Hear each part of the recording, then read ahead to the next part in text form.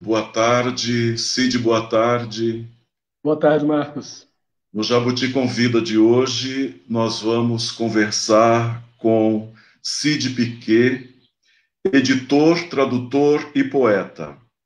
Estudou letras alemão e latim na USP, Universidade de São Paulo, e desde 1999 trabalha na Editora 34. Começou como revisor, assistente editorial, depois como editor e atua especialmente nas coleções de literatura russa, clássicos, literatura estrangeira e poesia. Poesia é o elemento que nos junta hoje, porque a editora 34 ganhou no ano passado, na última edição do Jabuti, o prêmio na categoria Poesia com a obra Nuvens, de Hilda Machado. Nós vamos falar isso e sobre vários outros assuntos. O CID, ao longo das, dessas duas décadas na editora 34, participa ativamente da formação do catálogo da editora, um catálogo que todos nós admiramos e que todos nós gostaríamos de ter completo em algum momento. Desempenhado funções de coordenação e produção editorial, prospecção de autores e tradutores, contratação e formação de equipes de assistência e produção editorial. Enfim, ele desempenha todas as todas as funções, dá conta de todas as responsabilidades de um editor. Além do trabalho de edição, ele organizou e traduziu só para maiores de 100 anos, antologia antipoética, de Nicanor Parra, com Joana Barossi, que foi finalista do Prêmio Jabuti na categoria em 2018.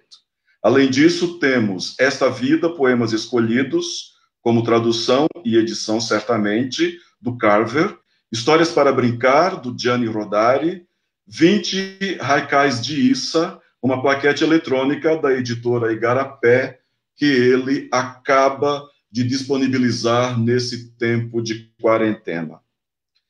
Publicou também traduções de ensaios e poemas em livros, em livros periódicos e blogs, como a revista Serrote, a revista Piauí, a Folha de São Paulo, Modo de Usar e Companhia, Escamandro, a antologia Lira Argent, publicado pela Demônio Negro. Marcos, Oi. Eu acho, eu acho que o meu vídeo saiu do ar. É verdade, você sumiu do meu do meu é também. É. A, a, a, a Vivian está na, na, na escuta, está no apoio, ela vai te orientar. Tá bom. Te retomar. Acho que eu preciso sair e voltar de novo. Será que precisamos os dois fazer isso? Talvez, né? Ah, ele, ah, estão me dizendo aqui que você vai entrar de novo. Muito bem. Então vamos esperar um pouquinho. Nós tivemos um problema técnico com a imagem do Cid Piquet e ele volta dentro de segundos. Vamos esperar que ele vai entrar no nosso ambiente de bate-papo outra vez.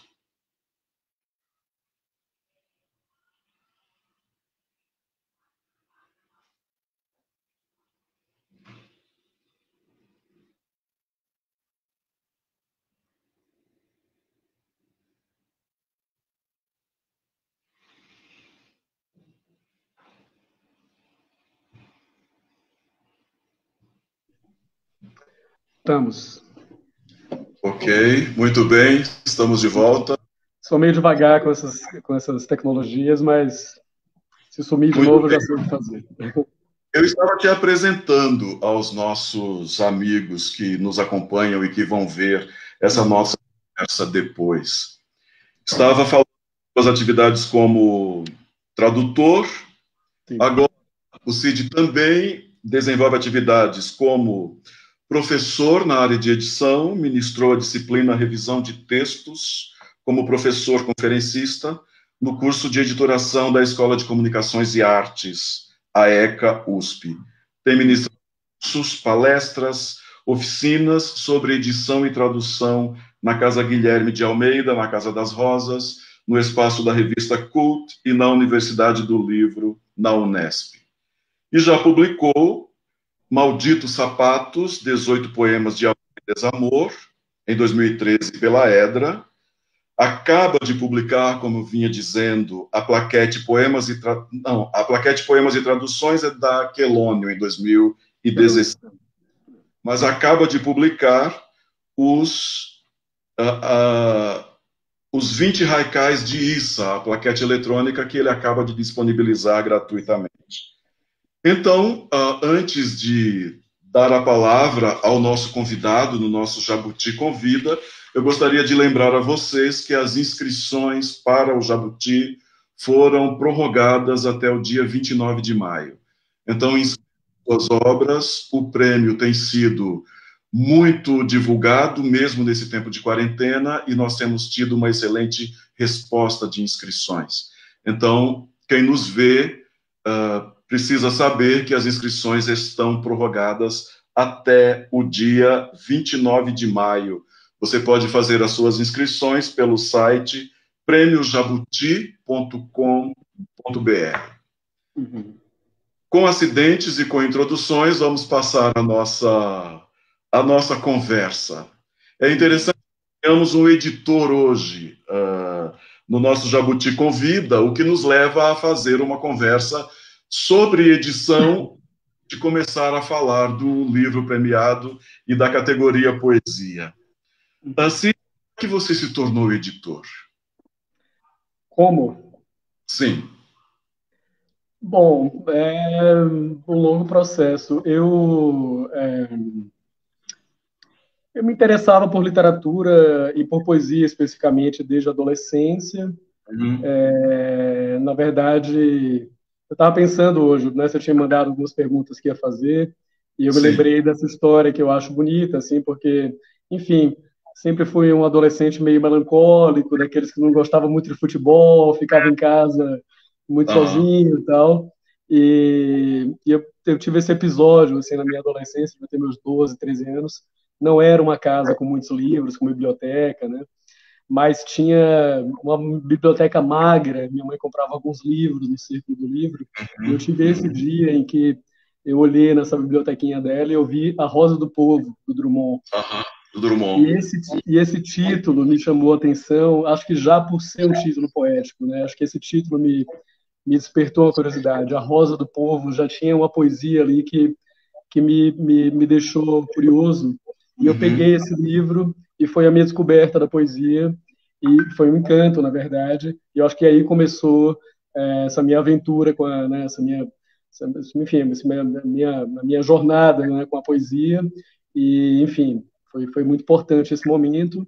E aí comecei a frequentar sebos e a ler, e me interessar, inclusive, pelas aulas de literatura na escola, que antes eram eram meio chatos e tal. Uhum. E daí foi todo um processo até resolver estudar letras, né? Eu morava em Salvador, vim para São Paulo para estudar na USP, tive que abandonar a faculdade por problemas financeiros, depois voltar. Enfim, tive que dar aula de inglês para me sustentar durante muitos anos, tive uma filha muito cedo. Uhum. E acabei é, entrando no mercado editorial, começando a fazer pequenos trabalhos de tradução, e acabei já aos 21 anos, é, é, através de um conhecido que trabalhava lá na época, sobre uma vaga na 34, entrei lá como revisor. Isso em 99, uhum. lá até hoje.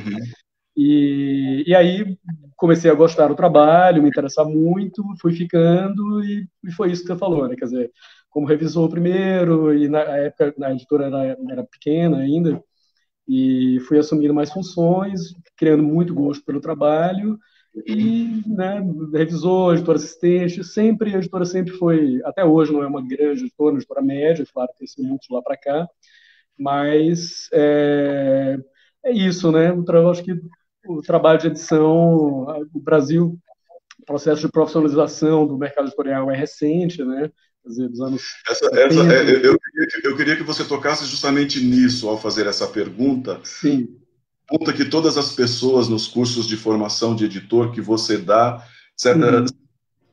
aqueles que eu dou, essa pergunta é sempre: qual é a formação específica para editor? Né? Sim, é, é, é, eu acho que os caminhos, bom, pelo menos pelos editores que eu conheço, os amigos e os, né, os colegas de trabalho, você vê que a, a, os, as trajetórias são muito, são muito diversas, né? É, tem todo tipo, tem, eu conheço editores que, que têm formação como arquiteto, como artista, como filósofo, alguns que não têm formação superior, né? Tem gente, jornalistas, é, porque, na verdade, se você for ver, cursos de editoração são muito recentes, na verdade, né? e, e, e muito deficitários ainda. É, então, é, no, e é normal, né? Eu acho que é normal isso. É, o próprio mercado editorial no Brasil, ele ainda está se formando, né? se uhum. profissionalizando. Uhum. Então, é normal que seja assim. É, o meu percurso foi esse, quer dizer, eu estudei letras, né? é, de um jeito também, isso largando, voltando, tal, tal, tal, e, e fui criando gosto, aprendendo, fazendo, né? Mas, de pois fato, é. eu acho que é um trabalho que você, é, é, como muitos, né? Que você, você só aprende mesmo metendo a mão na massa, sabe? Eu repito isso o tempo todo. É, é você, assim, assim como a tradução, né? Uhum assim como a revisão, você não vai fazer um curso e sair dali pronto, né? Uhum. É, quer dizer, como quase todos, né? Vamos ser honestos, né? Assim, né? Como, como, cozinhar, como, como falar uma língua, né? Você, claro, é importante estudar, é importante ter bons professores, mas para você ficar bom em qualquer coisa na vida, você tem que passar anos se dedicando àquilo com muita seriedade, com muita, com muita né, paixão e tal. É verdade.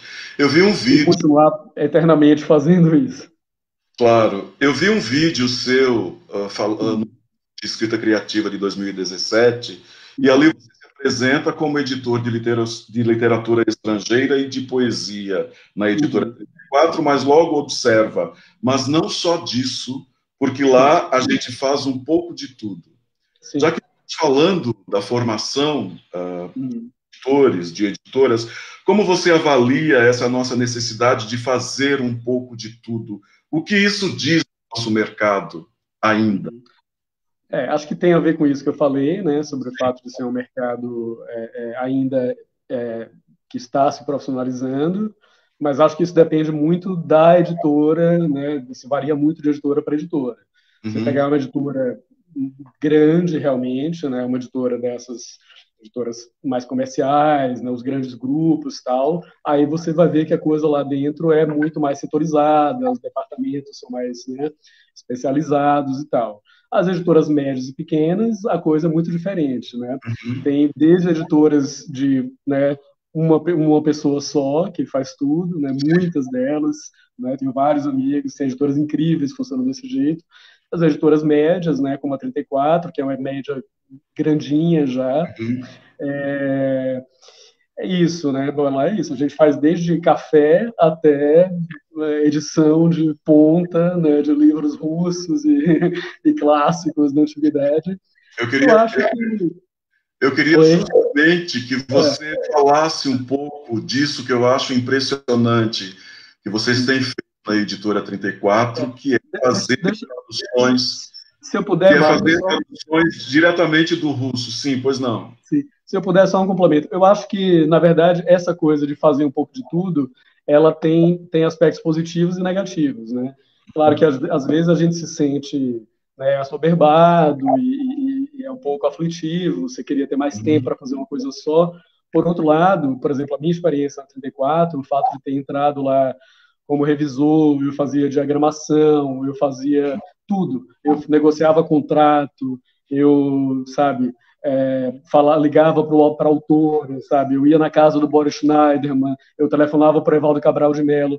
Isso é um aprendizado maravilhoso, entendeu? Claro, é, Sabe, você ao mesmo você ter acesso ao dono da editora, na época era a Bia Bracha, a Beatriz Bracha, que é uma editora pequena, então você está ali conversando com o dono da, editor, da editora, você está conversando com a copeira e com o pessoal do estoque, você tem essa dimensão humana também, que é importante, você sabe como tudo funciona. Eu aprendi a diagramar o livro do zero, né, com, com também com o Paulo Malta, que hoje é o editor-chefe do Editora. É, Ou seja, você aprende a fazer tudo e, ao mesmo tempo, isso, indo na casa do Boris Schneiderman, é, conhecendo Paulo Bezerra, negociando, escrevendo e-mail para agências e editoras do mundo inteiro, você realmente tem uma formação completa. Né? Uhum. Eu acho que se você entra numa editora muito grande para fazer uma função, você pode, passar, você pode passar 20 anos no mercado editorial só, só sabendo fazer uma coisa. Né? Uhum. E que é um problema do nosso do, do, modo como o mundo capitalista funciona hoje, né? É especializado ah, demais. Né? Especializado demais. E aí há conhecimento de menos, esse conhecimento Exatamente. global. Mas eu quero passar para o assunto que me deixa muito curioso, uhum. que é uh, essa decisão de vocês de fazerem finalmente traduções de literatura das fontes primárias, direto direto do russo. Né? Você, por exemplo, traduzido Bakhtin, finalmente, com o Paulo Bezerra, que tem feito um trabalho impressionante. Vocês têm traduzido muita literatura russa direto dos originais. Eu gostaria que você um pouco disso, sobre o que significa isso como investimento cultural e uhum. que isso produz junto aos leitores. Uhum. É, isso aí é uma história é, longa, né? É, na verdade, a história da coleção, dessa coleção dos russos, ela começa, na verdade, a coleção leste, né? Ela começou, é, isso, ela começou, na verdade, antes dos russos, né? O projeto inicial é, era publicar autores do leste europeu, hum. e essa coleção no começo era coordenada pelo, pelo Nelson Asher, né? E ele começou publicando alguns, são aqueles livros antigos, o Marcador de Página, o Tradutor Cleptomaníaco, foram uns quatro ou cinco livros, livros excelentes, até uhum. hoje, né, tem gente que, enfim, estão no nosso catálogo, quase todos eles autores, talvez um ou outro não, não tenho certeza, mas livros muito bons, e na esteira dessa, dessas publicações, o Nelson é, é, convidou o Boris Schneiderman a publicar o Dama de o Dama de Espadas, que é uma que é uma, uma, uma tradução dos dois, que é uma coletânea de contos e alguns poemas do, do, do Pushkin. Uhum. É, e foi assim que o Boris foi a primeira colaboração do Boris Schneiderman com a editora. Né? Uhum. A partir disso, nós começamos a publicar outras é, traduções do Boris. O Boris, nessa altura, salvo engano, já não fazia novas traduções, mas tinha várias traduções antigas. Então, uhum. começou aí a nossa relação com o Boris. E, e enfim, a partir daí, é, reeditamos várias traduções dele, que ele sempre revia, porque o Boris era aquela pessoa de uma seriedade, né, de um rigor assim, intelectual, né, no trabalho acadêmico, de tradução, é, que eu nunca vi igual. É, o resultado disso está na obra, né?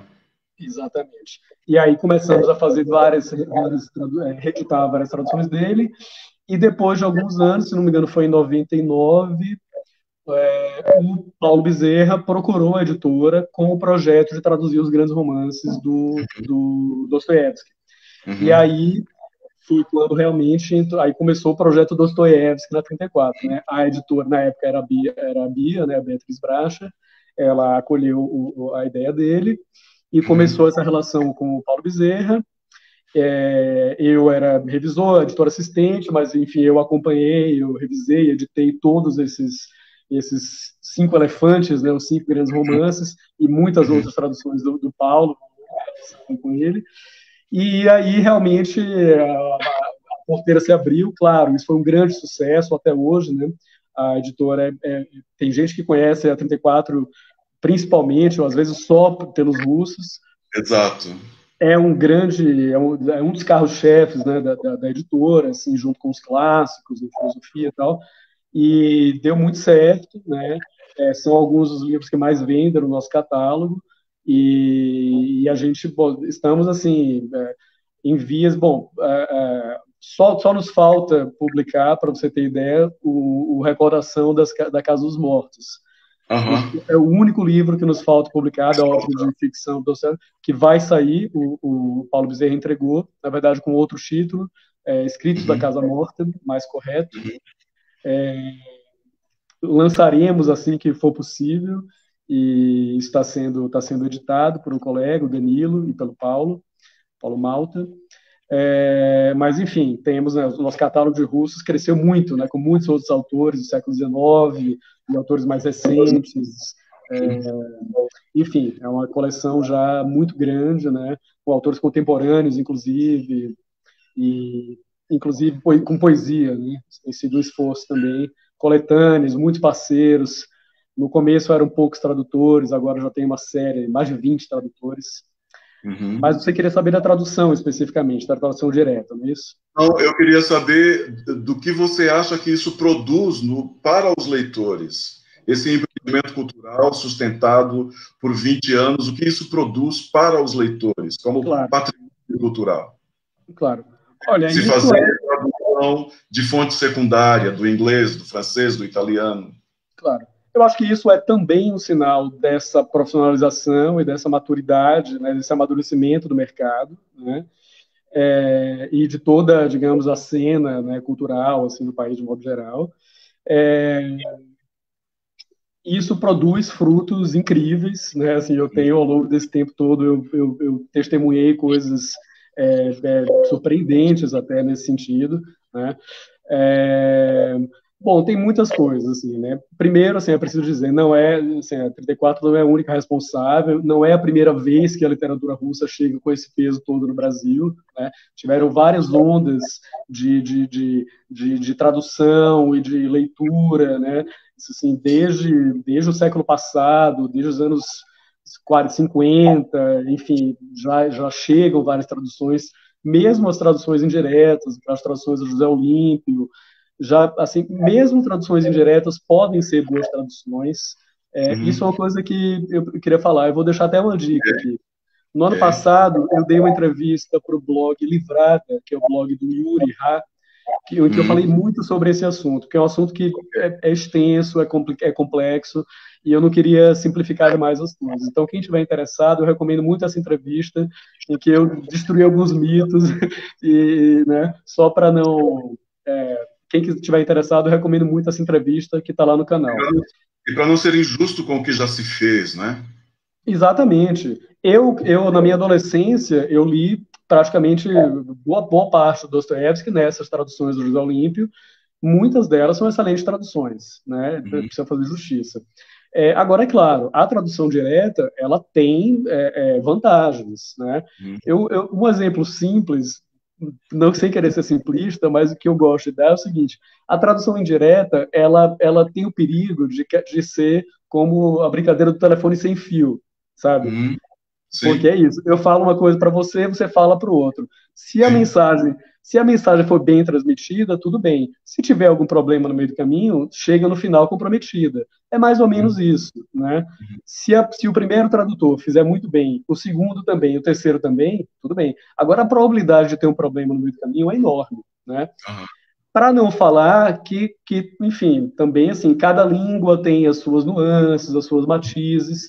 Então, assim, eu acho que a principal coisa que se perde na tradução indireta são justamente as nuances, as questões de tom, de estilo. E quando a gente fala de tradução literária, de literatura, né, de ficção, literatura, texto literário de fato, essas questões são muito relevantes. Né? Uhum. Existe uma grande diferença entre, entre tradução, né, entre texto, um texto técnico e um texto literário. Né? Você, acabou de dizer, você acabou de dizer que o Paulo Bezerra entrega uma tradução sugerindo a modificação do título, né?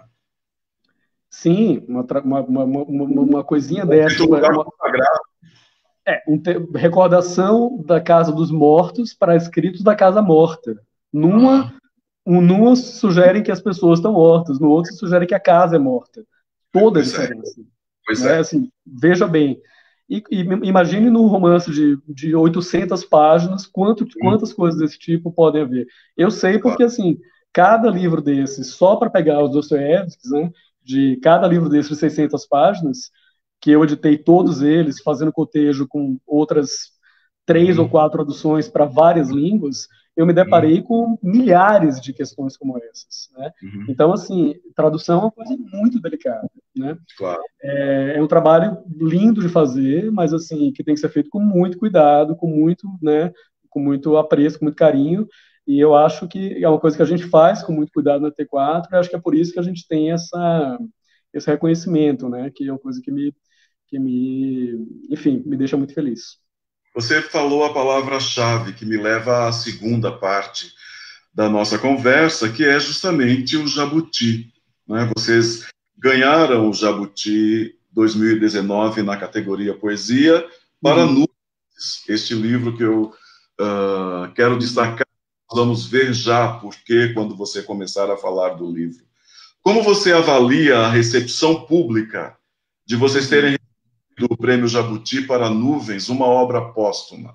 Como é que vocês avaliam esse prêmio na carreira do livro? Cara, eu avalio como uma coisa maravilhosa, é, linda, enfim. Bom, antes de mais nada, eu preciso falar algumas coisas, né? Esse livro é, esse livro realmente tem uma história é, incrível e muito bonita é, que eu preciso contar, assim, antes de falar da, da editora, né, eu preciso falar é, de uma pessoa sem, sem a qual esse livro não existiria, né, publicado, que é o Ricardo Domenech. Exato. é um livro póstumo, né, como você falou, como acho que as, as pessoas sabem de modo geral, é, porque a Hilda morreu em 2007 é, ela era uma cineasta, uma professora de cinema, uma pesquisadora, né, da, ligada à Universidade Federal Fluminense, que não tinha praticamente publicado em, em, vida. Ela tinha publicado poucos poemas numa revista, na Inimigo Humor, que era uma revista literária editada pelo Carlito Azevedo, do Rio de Janeiro. Dois poemas, se não me engano. É, o Ricardo Domenech, que é um poeta, né, editor também, que mora há muitos anos em Berlim, poeta brasileiro, ele tinha lido esses poemas, ele leu esses poemas e ficou impressionado, porque são realmente muito bons, e, e né, ficou curioso tal, demorou um tempo, tentou entrar em contato, soube que não tinha mais nada publicado dela, e, e, e muitos, alguns anos depois, soube da morte dela. E desde então ele começou uma campanha, uma, uma, uma, uma, tentativa de descobrir se ela tinha mais poemas, entrou em contato com a Ângela Machado, irmã da Hilda, e ficou, é, né, assim, imbuiu dessa missão de, primeiro, tentar encontrar esses poemas e salvá-los de um desaparecimento, sem ninguém e tal.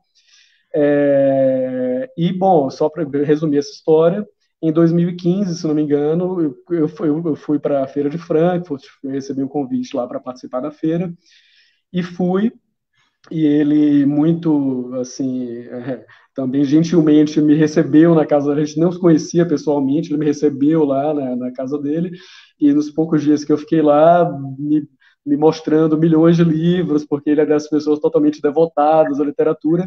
Um dos livros que ele, não, livros não, né, um dos poetas que ele me mostrou foi a Hilda Machado, e já com essa, contando essa história, falando que você conhece isso, você já leu, porque eu eu tô há anos nessa, nessa nessa luta, né, de tentar, já tem o e-mail da irmã dela, da Ângela, e leu para mim, eu falei, realmente é muito bom. Ele falou, você topa fazer uma, uma investida junto comigo e tal? Eu falei, vamos lá. Assim, não posso responder, me comprometer pela editora, mas a gente pode tentar. Escrevemos uhum. ali mesmo, sentados na cama dele, um e-mail para Ângela Machado, e aí, algum tempo depois, com a intercessão também do Carlito Azevedo, tivemos resposta da Ângela, é, e foi por isso que o livro veio, né, que o livro existe. O Ricardo a descoberta, participou...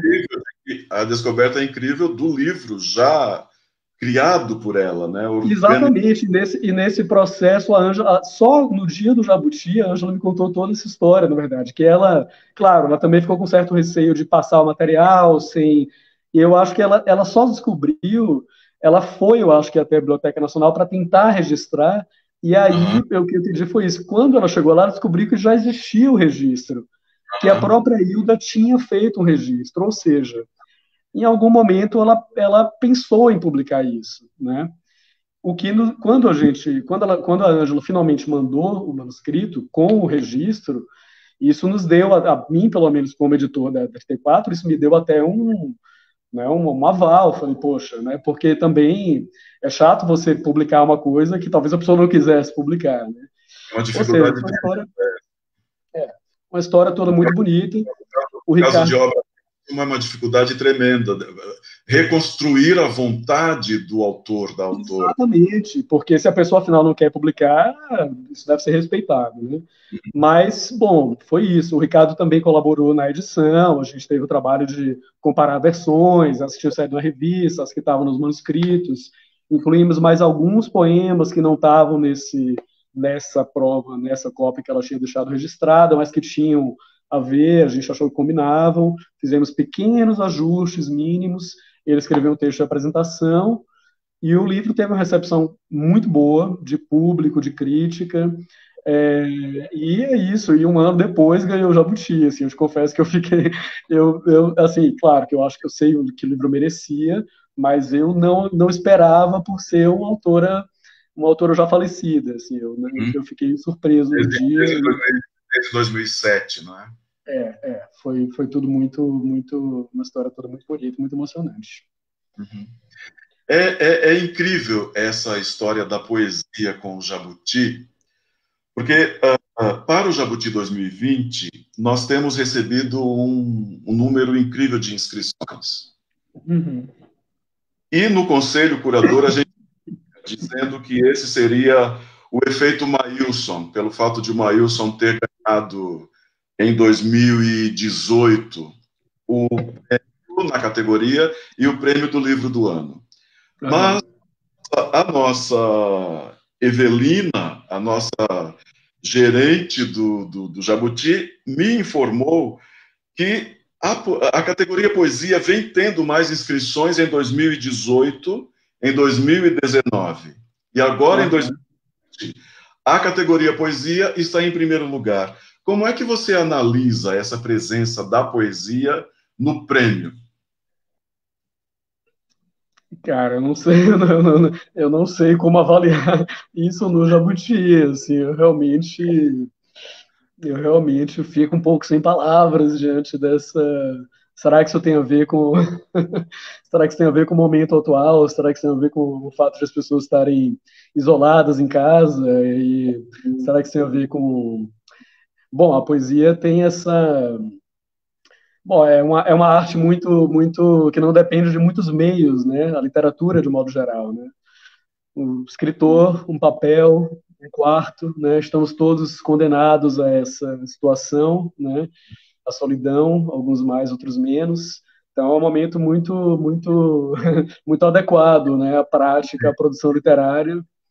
É, é, talvez, eu não sei, eu, realmente eu estou pensando alto aqui, espero não falar besteira, mas, mas é, nesses momentos, aliás, a arte acaba, acaba esses momentos né, de, de agrura, de, de, de, crise e tal, acabam, às vezes, acabam surgindo grandes obras, né? É, não, não, é, não é certo, mas, enfim, e, e é claro, a angústia, o sofrimento, né? Tudo isso que a gente está passando, as pessoas uhum. precisam botar para fora de alguma maneira, né? É, eu não sei, eu estou só pensando aqui com você. Eu realmente não tenho uma resposta para isso. Pois é, uh, a presença da, da poesia como uma categoria tão expressiva uh, nos impressiona a todos no, no, no Jabuti. Uh, há uma editora e poeta do Rio de Janeiro, Tereza Cristina Roque da Mota, que, uhum. uh, pensando em difusão, pensando em distribuição. Ela dizia: poesia não vende pouco, poesia vende aos poucos. Sua editora, a 34, tem um catálogo consistente em poesia, tanto poesia originalmente criada em português como poesia traduzida. Como uhum. você são a circulação de poesia no Brasil? Você já falou um pouco do que estamos e de que lugar esse momento pode construir para a poesia. Mas uhum. como atualmente a edição circulação de poesia? Sim. Bom, primeiro, respondendo a pergunta, eu concordo, eu concordo com isso. É, vende aos poucos e, às vezes, vende muito. em alguns uhum. casos, pode vender bem. Essa pergunta me lembrou é, uma coisa que eu não lembro se era o Drummond ou se era o José Olímpio que dizia. Um dos dois. Que era mais ou menos o seguinte: poesia pode não, não, como é que era? Poesia pode não vender pode não trazer dinheiro, mas traz prestígio. né? Porque, de fato, você imagine né, ter um Drummond, ter, né, ter um Bandeira, ter um João Cabral no catálogo. Uhum. É, bom, e eu digo no meu caso, né, ter, enfim, é, enfim, ter, falando pelo menos dos poetas que eu já editei, assim, né, vivos, digamos, né, ter uma Matilde Campilho, tem uma Edmilson de Almeida Pereira no catálogo, é uma grande honra, é, e em alguns casos, sem querer, né, desculpa, não dá para falar de todos, assim, mas, to, no meu, mas eu digo de boca cheia, todos, todos os poetas, todos os autores que eu edito, eu edito com muito prazer, com muita alegria, com muita honra, porque, uhum. infelizmente, nessa altura, a gente escolhe realmente quem a gente edita, e a gente edita porque a gente acredita é, e, e no trabalho e na importância, na relevância de cada autor. É, e em alguns casos, é óbvio, né? Poesia, às vezes, comercialmente é um pouco mais difícil, né? Uhum. É, infelizmente, ainda, a poesia nacional, é, é, às vezes, é um pouco mais difícil de vender, né? O Brasil ainda tem essa coisa, né? É de fora, as pessoas olham, né? Um pouco, né? Assim, acham... Temos isso, né? Um pensamento um, um pouco... Muito isso. É, pensamento colonizado e tal. Né? Às vezes o que, o que vem de fora acha que é melhor e tal, o que é uma grande besteira. É, vou repetir aqui, né? Acabei, acabei de editar o Edmilson Pereira de Almeida, poeta mineiro, que é assim, eu tô desde que eu conheci a poesia dele, eu tô absolutamente espantado. A cada poema dele que eu leio, eu fico embasbacado. É um dos maiores poetas que eu já li em qualquer língua. Tá? Fica a dica. É, uhum. Saiu no final do ano passado, Poesia Mais, uma antologia de 35 anos. É um cara que está escrevendo, sabe, há muito tempo e é um grandíssimo poeta. É, sem desmerecer nenhum outro poeta do nosso catálogo, mas é porque realmente foi uma recente descoberta como leitor, assim. Mas, bom, é, a Matilde Campilho, por exemplo, que né, foi eu não me envolvia tanto com poesia na 34 até a Matilde, que foi uma aposta que eu fiz e que deu muito certo, eu para Flip e foi um, né, um acontecimento, vendeu várias edições e tal, é, vendeu muito a Matilde. Uhum. Quer dizer, para né, poesia e tal, porque vende, claro, dá para comparar com os russos, por exemplo. Mas vendeu bem, se pagou e dá lucro, etc e como ela, muitos outros livros. Né? O Nicanor Parra, que eu traduzi, a primeira edição vendeu em menos de dois meses. Uhum. Menos de dois meses. Tudo bem, é o Parra, é um grande poeta, fazia falta, mas é impressionante. E a segunda está acabando já. Então, esse papo de poesia não vende não é bem assim. É, depende também do seu, do seu referencial, né? porque para uma editora comercial que quer vender sempre, uma, se uma, uma grande editora que sempre quer vender 10 mil livros, aí, entendeu? 2 mil não vale nada, mas assim, nós somos uma editora modesta. É claro que a gente quer vender 100 mil, mas se vender, uma, se vender uma tiragem de dois, já tá bom, entendeu? Uhum. E outra coisa, fazer poesia, fazer autor nacional, além de ser, né, de ser um, ato né, cultural, editorial, tal, tal, é um gesto político, ético também, entendeu?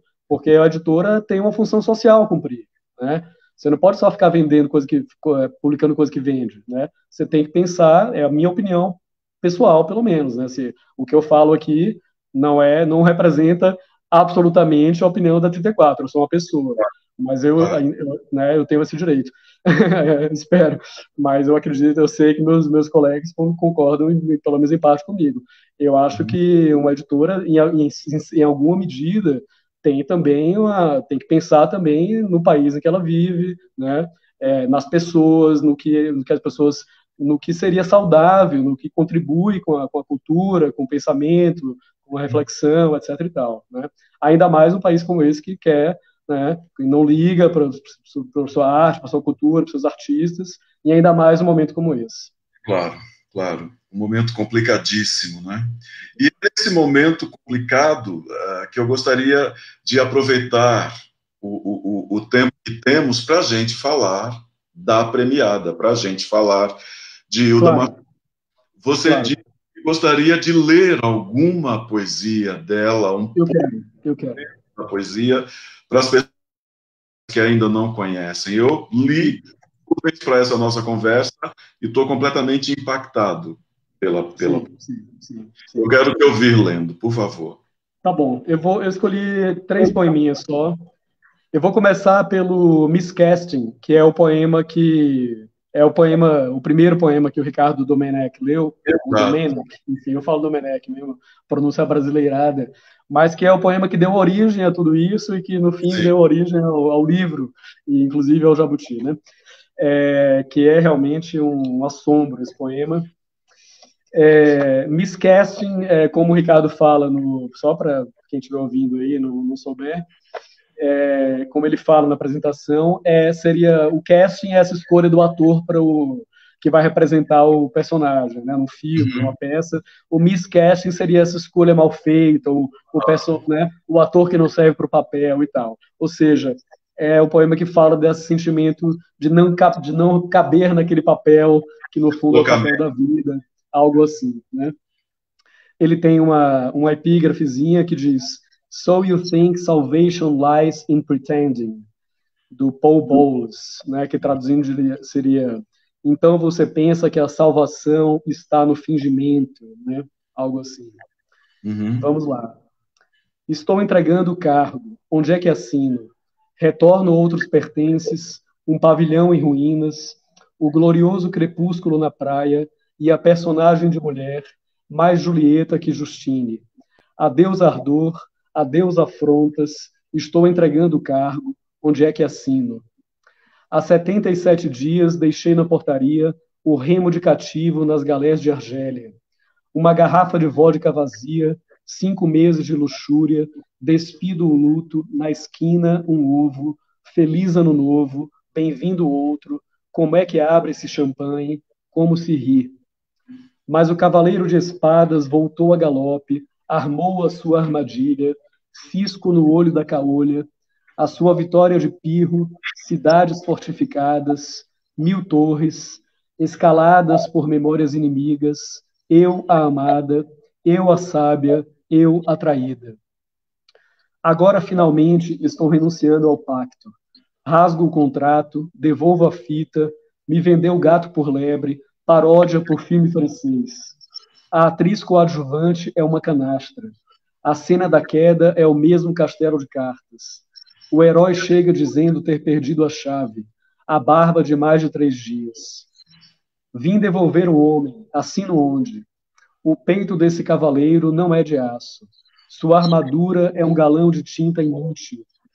Suflê falhado,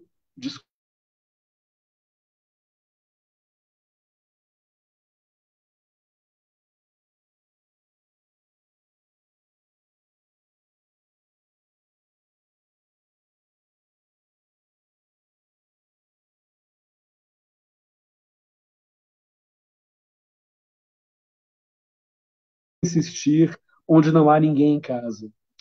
Os joelhos ainda esfolados, lambendo os dedos, procuro por compressas frias, ó céu brilhante do exílio, que terra, que tribo produziu o teatrinho troll colado à minha boca. Onde é que fica essa tomada? Onde desliga? É.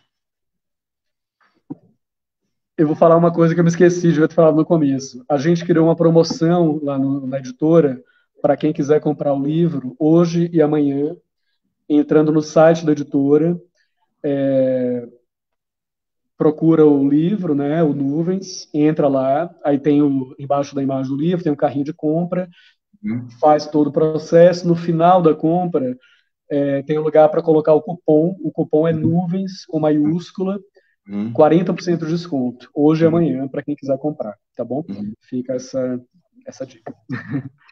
Perfeito, perfeito. Uh, eu eu, eu, eu uh, queria perguntar a você ainda, porque, inclusive por causa do seu interesse por haikais, etc., né? uhum. qual é a relação, se você vê proximidade entre a poesia de Hilda Machado e a poesia japonesa? Cara, na, naquela sessão, na, tem uma sessão do livro chamada Nuvens, né? Que é que tem os poemas bem curtinhos que, que lembram haikais, né? A poesia da Hilda, é, ela, ela, ela, ela flerta com muitas coisas, né? Uhum. Eu, eu, eu, acho, eu acho difícil de, de, de, de classificar, de reduzir. É, inclusive as resenhas, né, as críticas que, que apareceram, teve boas leituras críticas, né? É, elas apontam para muitos lugares, assim, né? Claro, ela se assemelha com muitos contemporâneos dela, né, da pessoas de geração, Ana Cristina, Ana Cristina César, né, a gente ali... Mas, assim, eu acho difícil... Mas essa ação do Nuvens dá para, talvez, dizer que tem... Que se, que se aproxima ali um pouco dos Raikais, sim. É... Bom, só queria dizer isso, que, que quem...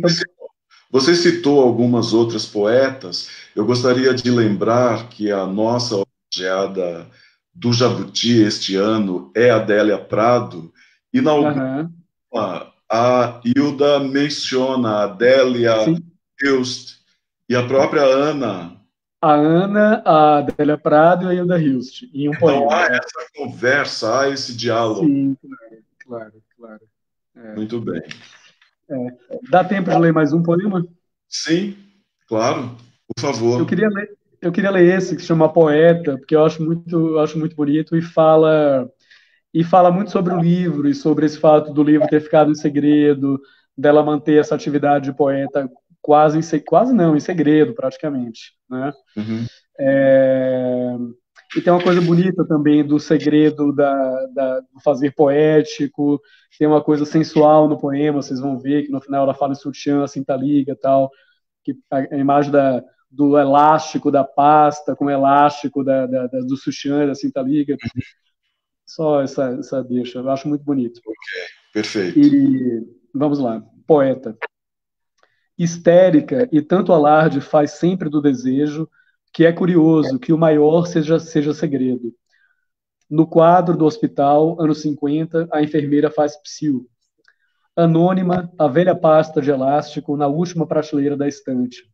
Papéis cebosos, muitas vezes traídos, a pasta destripada no lixo, a cena completa, as juras, nunca mais, a porta que bate definitiva. Outro dia e o clandestino vem à tona, levanta a cabeça, e outra pasta vem ocupar o lugar daquela que sofrida sei de cor. Mostrar a quem hei de. Vai que algum amigo leia os versos poucos e deles só prestam mesmo uns quatro ou cinco. E diga, parece Adélia, diluidora vagabunda me mato. E a revolta? Afinal, não é tudo que parece Adélia. Da outra, a Hilst, nem é bom falar. Ou Orides, Praga, que a minha inveja é só de mulher e absinto para eu beber em cálice. Homem para mim é sempre muso. O pterodáctilo me, agarra pelo pescoço e lá vou eu.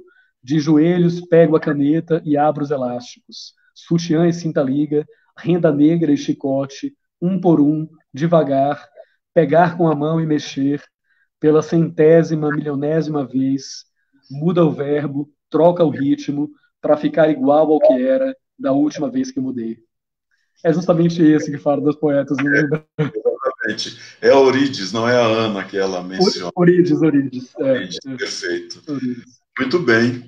É uma pena que o tempo passe tão rápido que a gente tenha de é no final dessa conversa. Uma alegria conversar com é você.